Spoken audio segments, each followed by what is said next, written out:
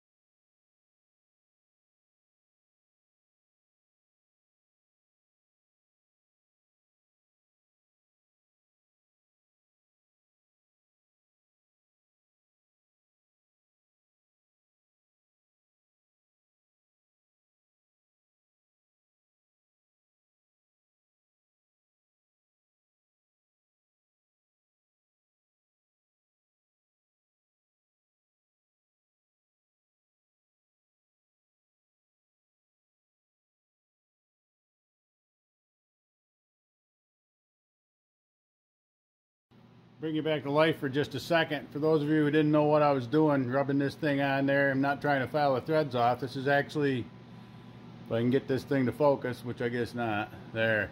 It's a thread chaser.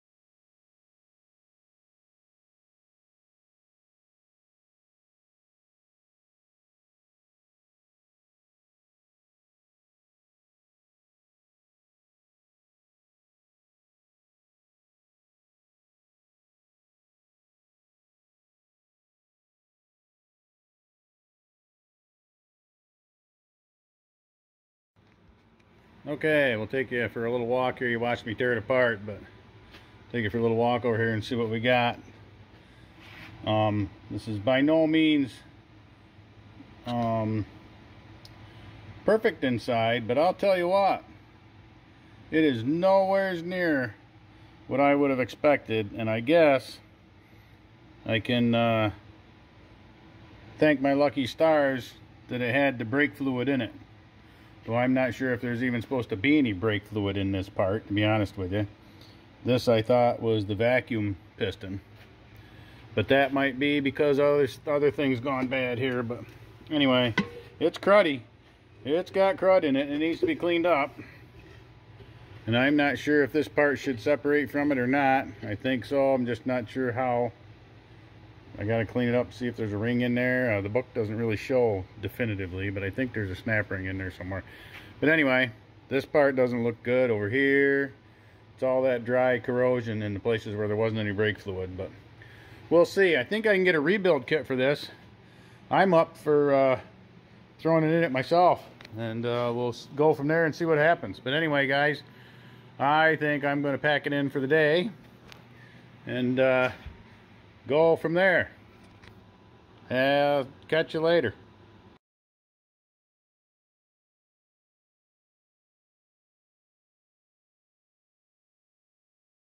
Okay, well, a little disappointed today. Started on another project. I was pretty excited. Uh, the, uh, I'm going to switch the camera. The hydrovac, if you can see right hand out of the picture so it focuses not on it. Right there, there's a vacancy. Those are the brackets for it. I took that off. It's over here between in the vise and on the shelf counter here and was putting the rebuild kit in it. Working on putting the rebuild kit in it. I've got the shop manual. I've got the diagram that came with the kit and I've got a diagram that was online that describes a major rebuild kit. There's a couple different versions of this, but this is supposed to be the kit for my nine and a half inch um, hydro vac. And yet, uh, I took pieces out of this that don't look even close to the pieces, nor does the picture that came in the kit. And number two, this seal right here on the main piston, I do not see one. There is not one here. And this is the brand new kit right here. And that's the only cup that came with it. Alright, this is all the old stuff I took out of there, off the main piston. That's the cup that came off it. That's the cup that matches that cup. Alright, that's it. The only other stuff I have new is the bleeder, the two brass gaskets. Um, and this is the felt, the O-ring, those two seals that are in there, I believe, are the two seals that are in this bag. But there's no, there is no seal for that piston right there. So that's not good, and that's the main power piston. That's the one that sends the power out to the brakes. I did get the rest of the parts for my hydrovac, the brake power brake booster. Um, as you can see, well, you can't really see it, but it's located right there inside the frame there. This is a vacuum tank, as you can see there. That's where the uh, vacuum accumulates, if you will. In other words, vacuum lines run back to the tank, and then from the tank, they go back over to the hydrovac. That's your brake booster. It's mounted on the frame. It's not mounted on the firewall on these units. But anyway, um, that's what we're going to do today. I got the last of the parts. I got that piston seal and I did get the new leather. Uh, the leather's been put in a plastic bag and soaking in mineral oil. It's been about day three.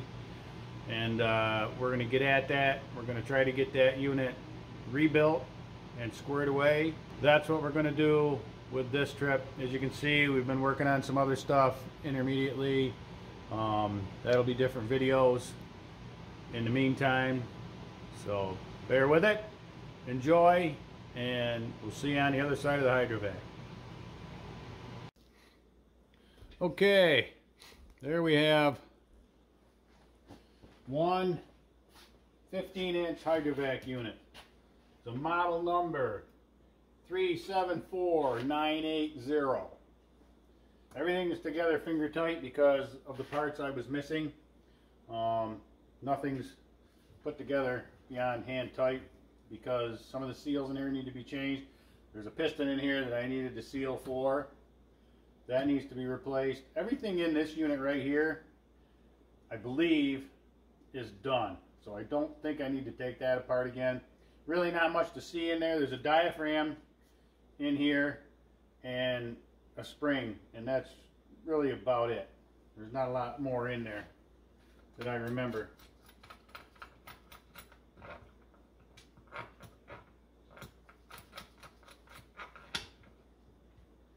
These U-bolts will come out that way. You loosen them up just enough so you can get them off the bottom. Work them up, turn them around, get them in the right direction. They'll come right out the top. Just saves taking the nut all the way off them. You gotta watch out you don't lose your lock washer. Or you wind up taking the nut off anyway, and just put the lock washer on.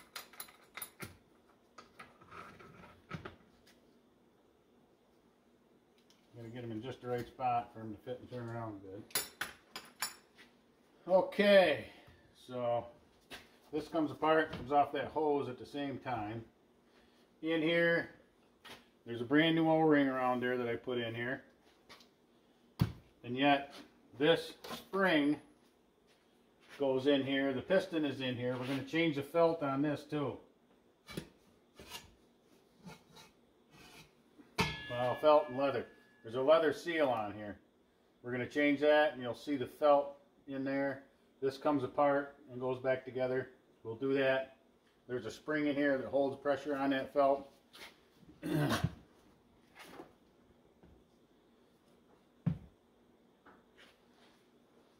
we're going to clean this out really good and clean. It's got a little bit of crud in it. We're going to turn this over and we're going to hold it in the vise with that pipe. We're not going to be putting any pressure on this anyway. The vise right now is just a, another pair of hands. We're going to clean this out really good. I put a little oil in here. Um, just to kind of lube things up. I wasn't sure what should be in here at the time. I actually put some power steering fluid in here. I'm just going to clean that all out of here really good. It was basically to keep the inside of this can from rusting. It was a little rusty and a little cruddy. I shined it up and cleaned it up with some um, 400 grit and uh, some steel wool. We're going to get some brake cleaner in there.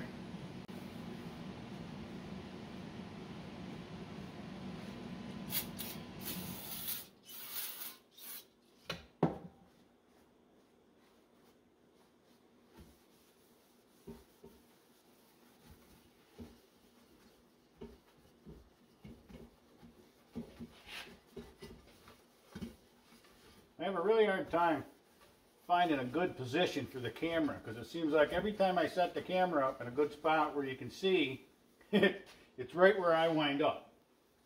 And I don't, I don't know how to fix that. I really don't. So I apologize, my head or my back or something's in the way all the time, but that's just the way it's going to be until I get the magic answer to it figured out, which I don't know what that is.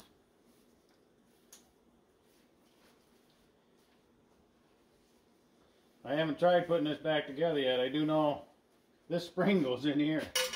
Alright?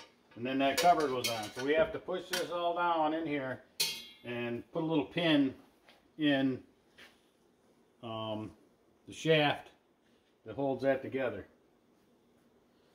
So it might be quite challenging. Pretty clean, so we can stand it up again now.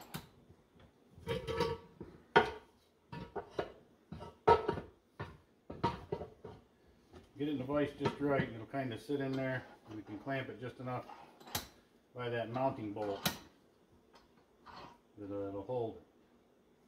Just enough so it doesn't fly out of there unexpectedly. This is our leather steel seal. We've had it. It replaces this one here.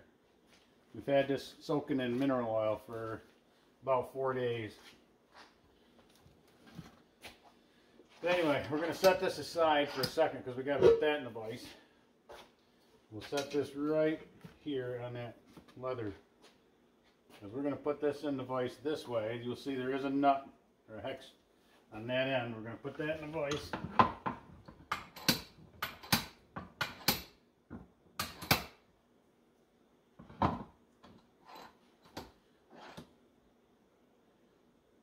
Pretty much like so.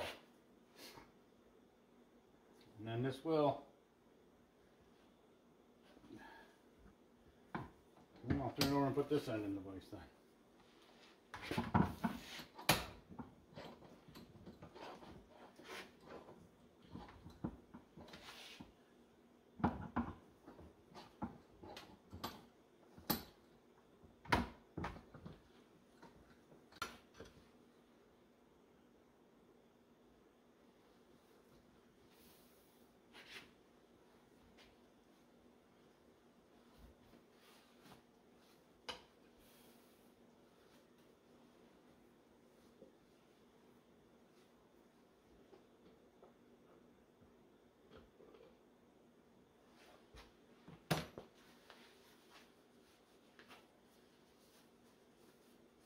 This is the shaft. It's going to come up through the top here. This tube will come off. This will come up through and you can see there's a hole in it. We got to get a pin through that. All against that spring pressure. But you'll see we can do it. It's just uh, not easy. There's a few threads on the end of this that got dinged up a little bit.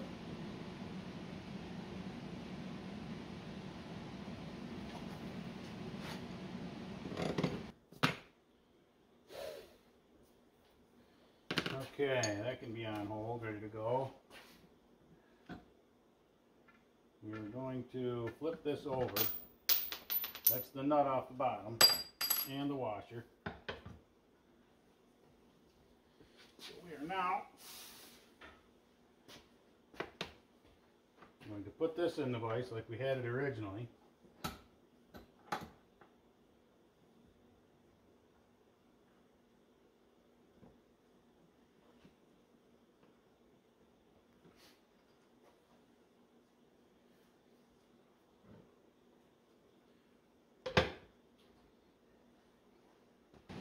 Trying to decide which way up I want this when I start taking it apart and putting it together. I almost think this way might be the way I'm going to want it. So I can figure out how to...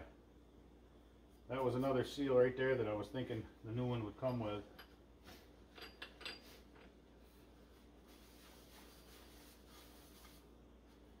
But, which it obviously does not.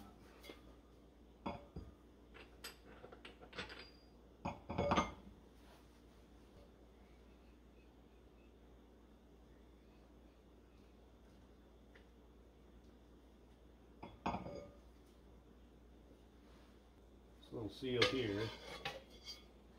This goes on first.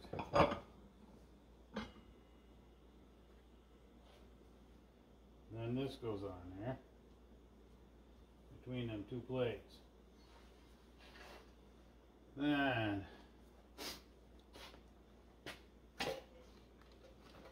may not get too bad though.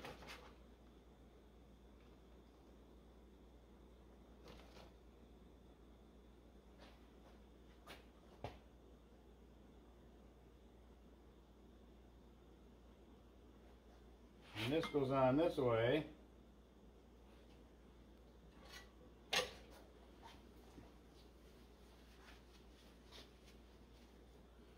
Clean all these off as we go.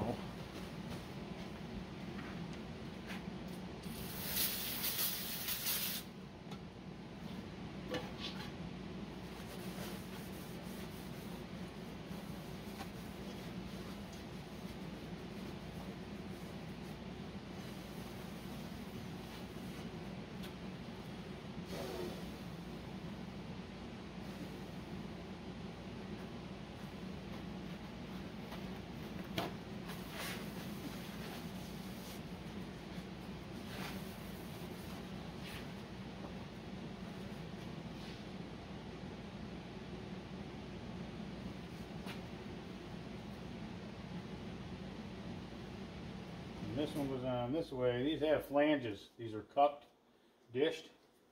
They have to kind of keep track of which way that dish goes. Basically, they're both dished down, so when you pull them down, it flares that. It helps to flare that seal out.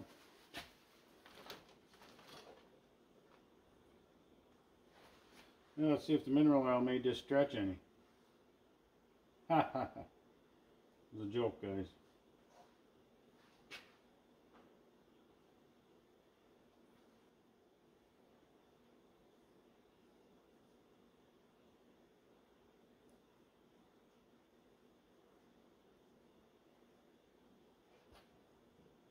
Well, if it stretched it, it didn't stretch it enough.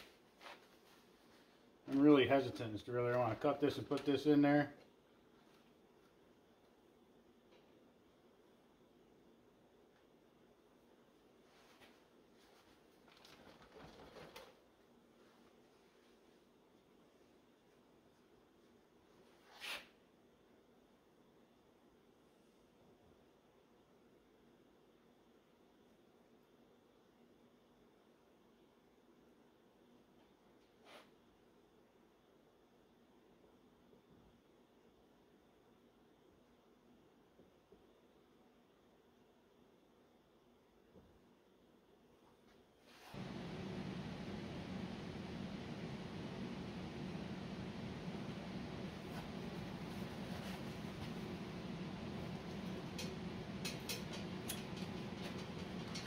Alright, now we're going to close this bag of mineral oil up before we wind up with that all over the counter, more so than it already. Wipe this spring off. It has little grippy things all along it here for gripping, I'm assuming the felt.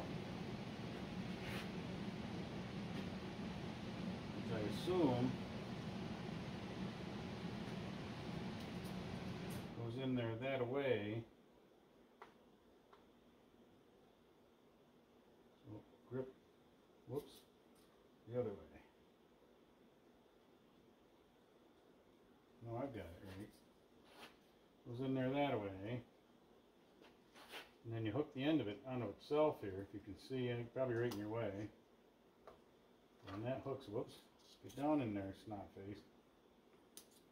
When that hooks to itself here, it turns into a regular little jerk.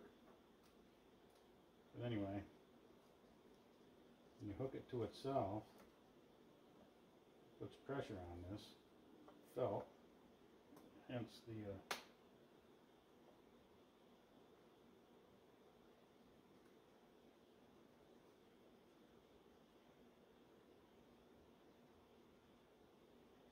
Well, that's not even going to close in there. So I'm thinking maybe this felt's going to get flipped up this way, the taller way. Because it is not square, it is rectangular, so to speak.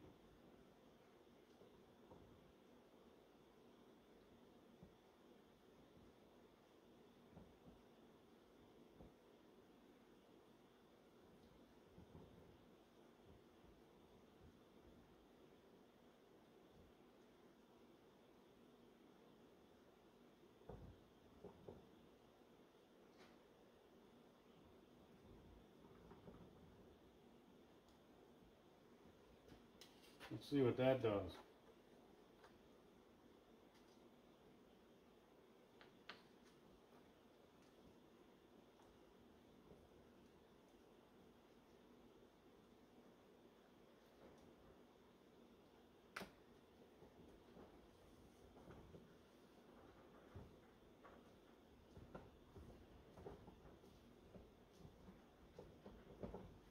That puts a little notch in that spring so it's constantly pushing out.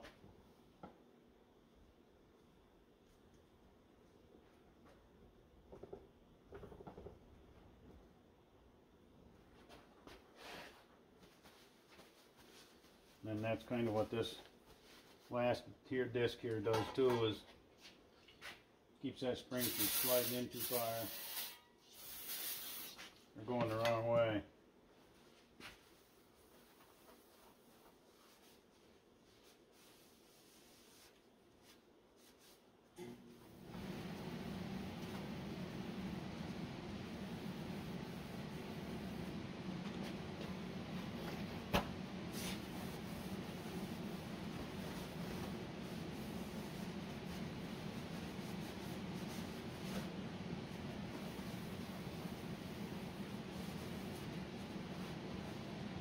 Okay, so this goes, see this notch goes right over that spring right there, like that, and over the center.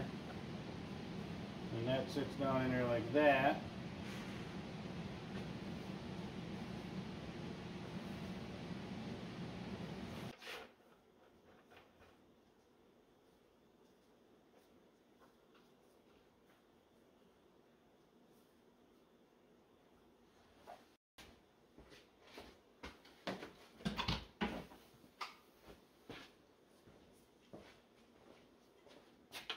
Gonna have, you got one of these, and you're gonna do this, don't rebuild it per my instructions. Do some research online. Um, do some research for a place that'll rebuild them for you. There's a few places that'll do that. There's places out there for parts. There's places for information. There's not a ton of any of the above. But the places are out there, so please don't go by what I'm showing you.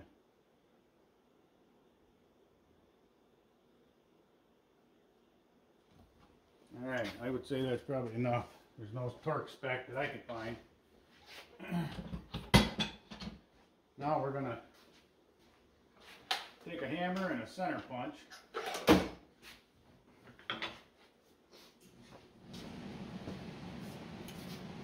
We're gonna double check, make sure we got this all together the way we want it.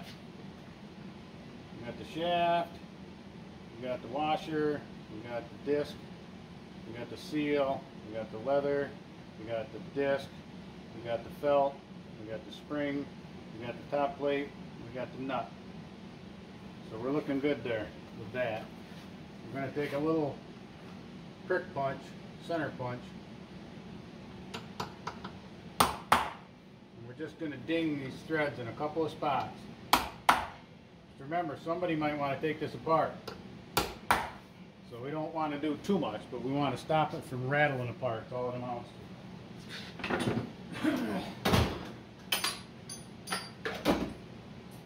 Just enough so when this piston goes back and forth, if it does happen to turn, it's not going to turn eventually off the nut. And that should be enough to stop that. Should work just fine. So there's that.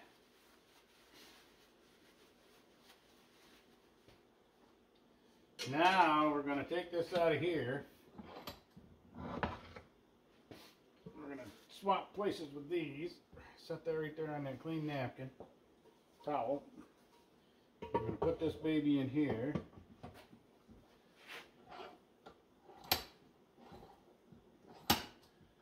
We're going to get her gripped up pretty good. We can't go too crazy because we're gripping on threads, but it's the mounting bolt, so it's not that crucial. But we got to fight this little darling here, so we're not going to freaking uh, argue with it too much. Take a clean towel, put a little mineral oil on it.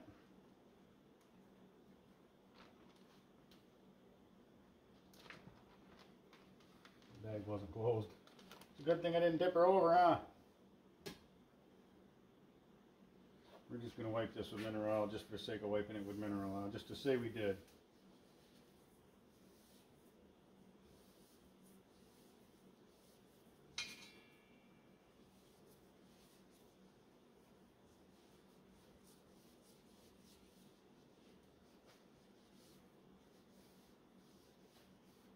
Just to say we did. This, I believe, I'm going to double check, I believe that goes in there like that. Not going to sit there like that, obviously. Yes, it goes in there with the big end towards that.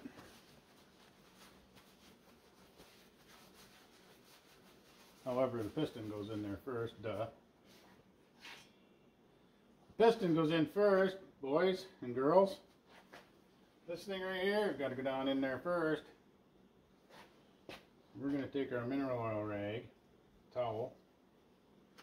I'm going to dip it in here again.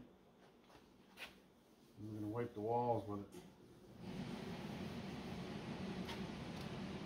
Saving this mineral oil because this is going to wind up getting dumped right in the bottom part of this.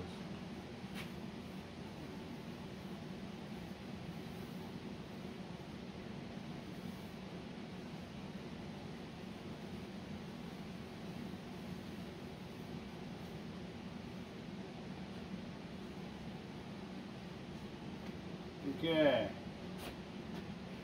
You say you put this down in there kind of crooked like that. And carefully spin it upright.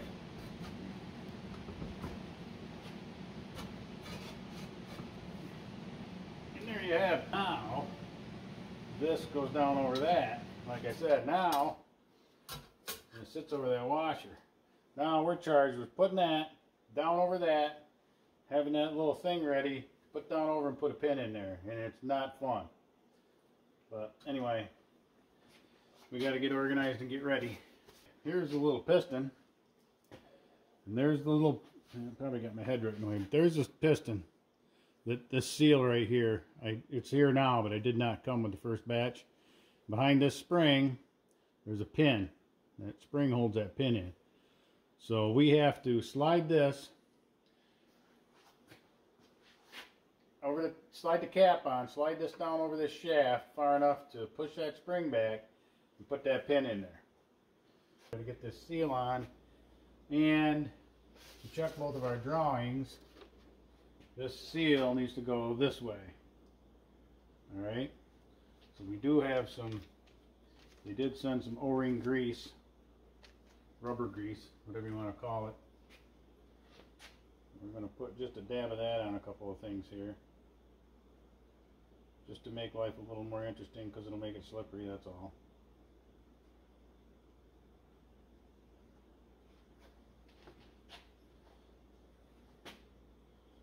As you can tell, this is not going to be fun because it's got a long ways to go. We'll be golden. Got her. Well, worst case scenario, if this thing doesn't work, as long as it doesn't lock the brakes up on me, if it doesn't work, function, I should be alright. It's not like I'm going to be hauling huge loads with this or driving 70 miles an hour. It's just going to be a show truck slash parade truck, if you will. So, it should work just fine with just manual brakes. quite disappointed. I should have, uh, when I ordered this ma major rebuild kit, I thought it was going to have everything in it I needed. Feels a little better, gets oil pressure on it, it ought to do something. So anyway, now we got to make sure we don't need anything else in here. This is this. Okay, so now for this little operation, we're, we're going to oil that or lube that up when we're ready the last minute. This is the operation where we got to slide this thing down over there.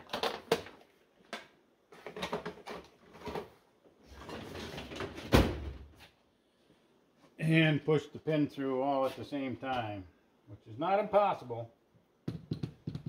There's a seal there. We've already done that. We've got that lubed up. We may use our brush here Put a little lube on the end of the shaft here though, just to make things a little easier.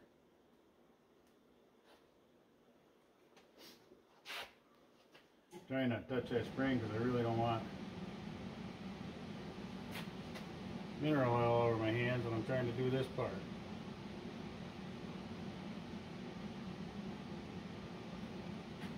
That's just to help that seal slide down over there a little better. Okay. I think right now I've got that pin half pulled out. I'm going to go get a set of forceps.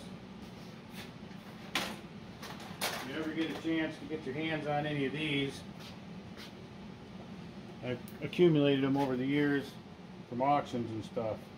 They're actual for medical forceps. They're great because you can clamp them onto something. They're like a vice grip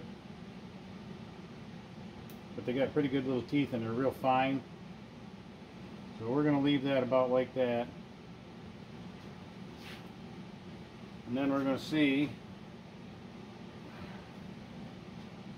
Okay, our O-ring is still there around the edge here. That's new.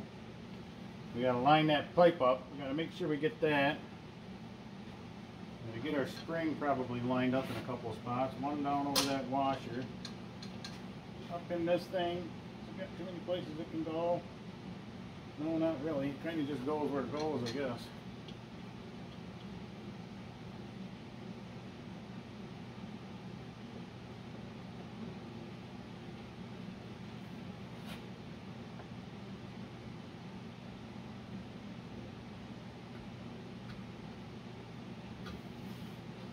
Running? I hope I turned you on, because if I didn't turn you on, you didn't get none of that. Yeah, we got you. Alright. We got an hour long video here of me trying to wrestle with this thing.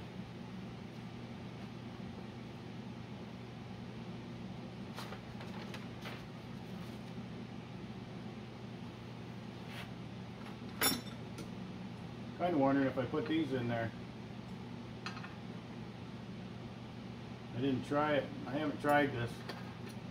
So I'm not sure what the best way to do this is going to be. But we'll see if two of those will help. At least one on each side. Because this is the tricky part, lining this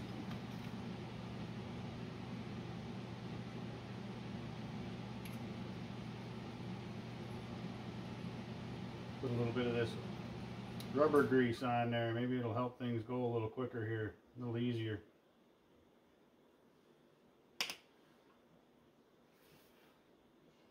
Oop, get that spring where it belongs in the bottom, spring where it belongs in the top. And line that shaft up, get it started up through that seal. Line the hose up, get that lined up.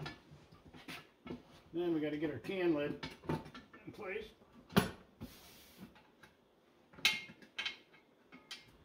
Oh, don't do this.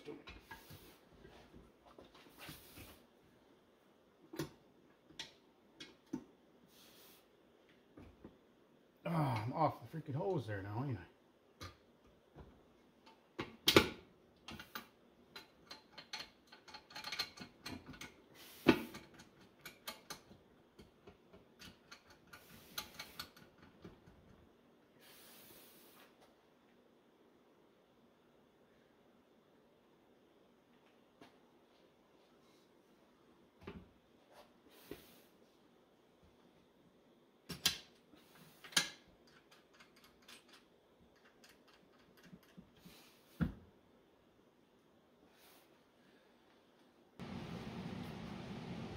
All right, hang on, guys.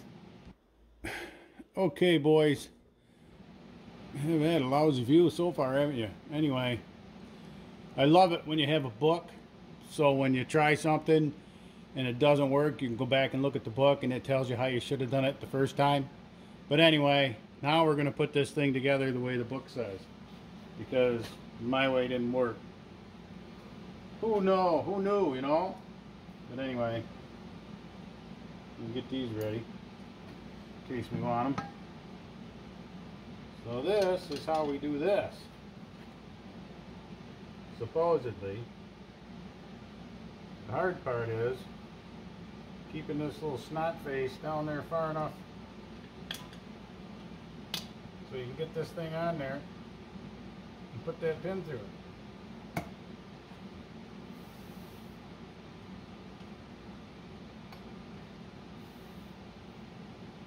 Like that. I know I was right in your way, guys, but there wasn't much I could do about it.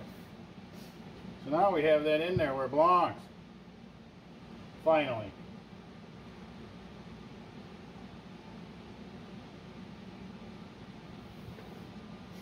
Spring is not quite where it belongs. Where it belongs now. See how it looks up here. Looks good to me on the top. Okay, now get our hose lined up somewhat close. Put that in there like that.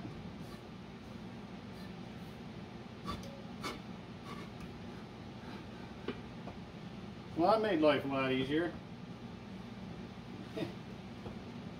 Must be them boys that wrote that book, tried it my way and it didn't work a couple times, huh? Anyway, so that's that. Okay. Now we've got this tightened in and we're just going to snug this nut on this seal down here.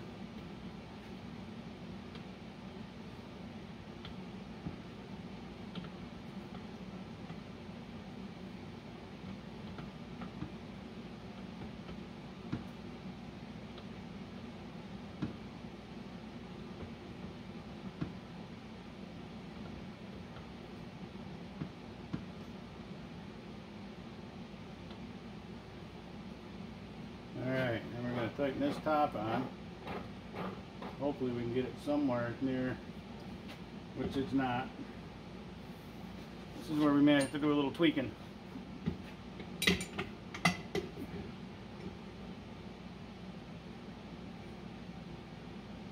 Oop, wrong end.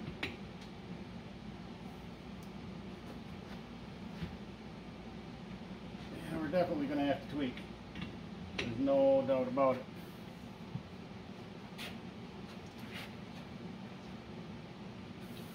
I have to back that off that far. See if we can do anything here, which I doubt.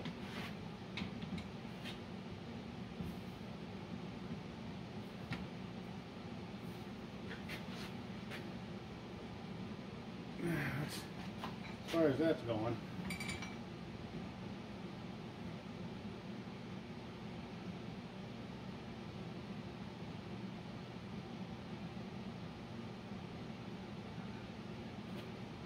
Trying to get that bleeder to point up. These two mounts right here, the two that it mount bolts are the two that it mounts to, and they're parallel with the frame. So up is that way. So we're trying to keep that as close to up as we can.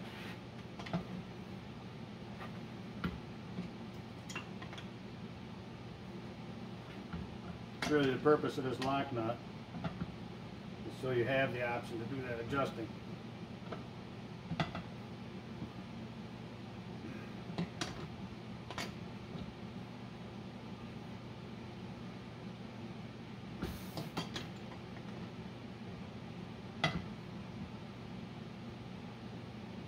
Okay.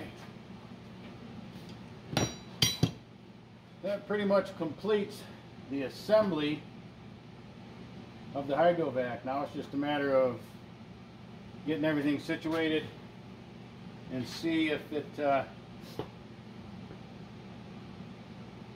works. Basically, the next step will be getting my brake lines tightened to this.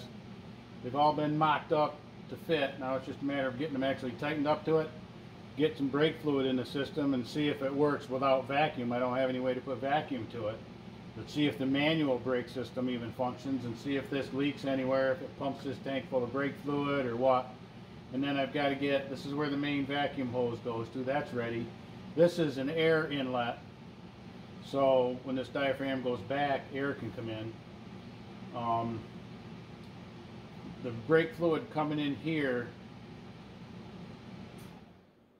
activates a valve that create puts the vacuum down to here, which well to the top of this piston in here, which pushes it up, which pushes this piston in here, which pushes brake fluid out to your brakes. And when you let off on this, this has to let air in because the vacuum's sucking it up. So when you let off on these brakes, it moves the valve in here and lets the air in, lets that spring push this back, takes pressure off this. So if everything works, we're good to go. So I'll take you for a walk and we'll go over there and we'll put it in the truck.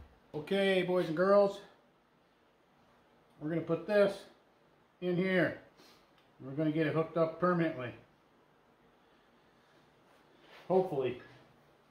That's the plan. This needs to go up here and then get out of the way for a minute. Okay, so let me think. This goes in here this way. This has to kind of move around for us here. Because everything has to go in about 16 different directions here. One point or another. Front bolts are in. Get this thing up in its bracket again. Get this back bracket on. The nut for that is right here. I'll get a bolt in the front end there, or nut on the bolts in the front end. There bolts right here, nuts and washers.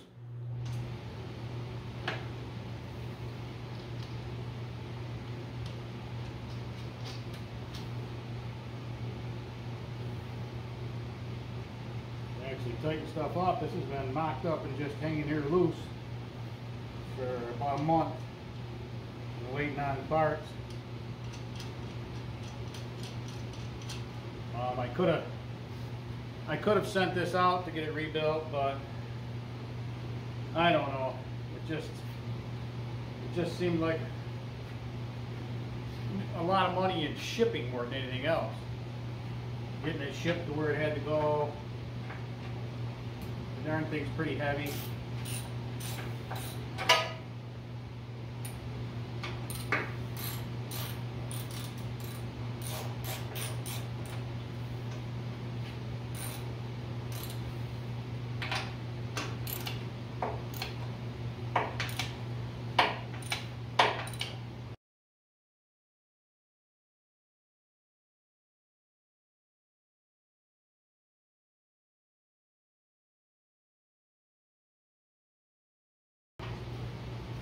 Grab the wrong one. Didn't notice that.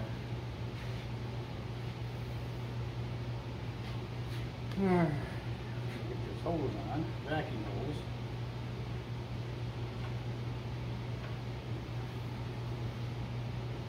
Most of these hose clamps and stuff, I'm trying to fasten from underneath, though it's tempting to fasten everything from up here. I'm trying to think ahead to the point where someday if you ever had to work on some of this stuff, unless you take the bed off the truck, or actually right here, the cab comes back to, well, there's a running board. The Cab comes back to about here. So this stuff is not accessible from the top down. It's going to be accessible from down here. So for example, when I'm tightening up a hose clamp, I'm trying to tighten it from the bottom. It's a lot easier from up here. But if I ever have to work on it, access is going to be pretty much strictly from underneath. So, even though I can't be, I'm not guilty of the best planet, I'm trying to think ahead a little bit. Okay, there's the vacuum supply hose. I need to run a hose from this up to any kind of an air filter so it doesn't suck in dirt when it sucks in air. It's just an at atmospheric air exchange, but it should have a filter on it. I think I've got, I think I've got a air filter laying around here that might be threaded on the end. I don't know, I gotta find it and look at it. If it is, I'll just make up an adapter and we'll mount it. I'll probably mount it up in here somewhere in the frame. Otherwise, you'd have to run a hose up and into the engine compartment or up into the cab or something like that. And I just, I don't know if it'd be worth it, if that'd be necessary.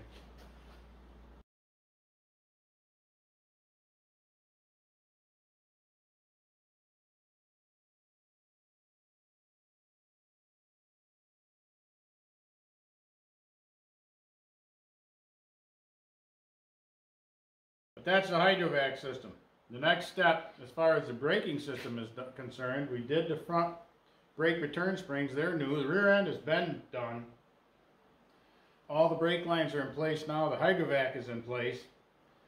So the next step is to fill the rear end with the mineral oil, which I can do that. And then it'll be fill the system with brake fluid and test the manual side of the brake system and see if that works without this being activated make sure this doesn't leak all over or nothing else does. Check the integrity and get it bled. And then we can't really test the operational aspect of that until we get the engine redone and back in it with vacuum. I'm going to go ahead pull the plug. There's a little plug right there on the bottom of that hydrovac. I'm going to pull that and then I've got a big syringe here I'm going to suck that mineral oil up with and I'm going to squirt it in there until it either starts coming back out or what I've got is going to go in there and that's going to be it. All right, so that was the hydrovac system rebuild, the best we could do with what parts we got sent. Um, I don't know if it's going to work or not. I have my questions.